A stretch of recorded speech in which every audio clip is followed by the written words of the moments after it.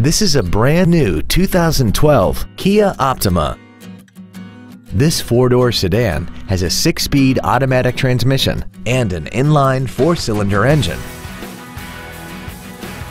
Its top features include a multi-link rear suspension, traction control and stability control systems, commercial-free satellite radio, aluminum wheels, and a tire pressure monitoring system.